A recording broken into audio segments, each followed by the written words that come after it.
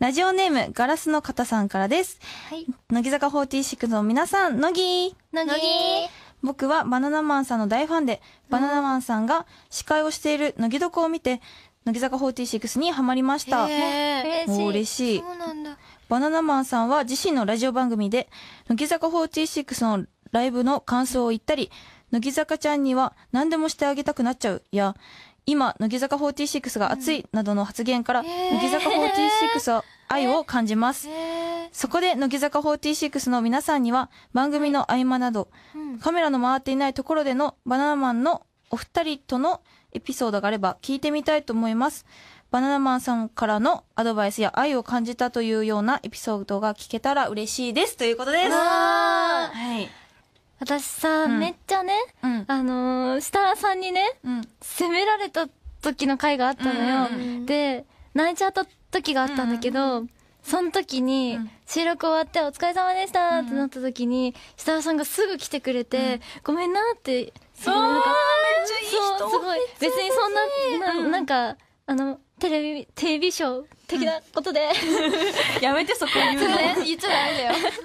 そうそう。でもそううん。なんか、うんでもそのなんか私のうん涙をうん笑いに持ってった設楽さんもすごいなと思ったし、うんでも本心ではすごいうん。乃木坂のことを思ってくれてて優しい人なんだなってすごいうん愛を感じました。めっちゃいい人だよねめっちゃいい人。ね本当にいい人。ライブにもうん。来てくれて。本当に忙しいのに来てくれる、毎回来てくれるじゃん、うんうんうんすごいしかもさ、うん。なんだっけ、いつもさ、うん差し入れ持ってきてくれるじゃん。うん。そうみみんなに。気遣い半端ないよね。で、なんかさ、どこだっけな、うん。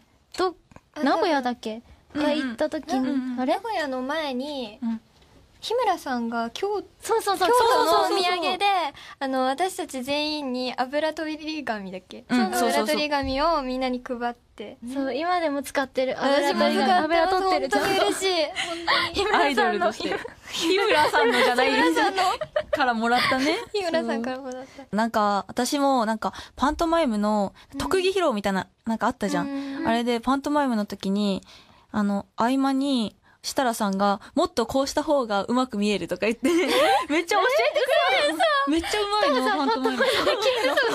なんか、なんか、やってみたらめっちゃうまかったみたいで、それでアドバイスくれて、めっちゃなんかすごいなって思う。何でもできるなって、そこで思った。なすごいなんかその私もサンドアートをうんうんうん披露した時とかも、うん。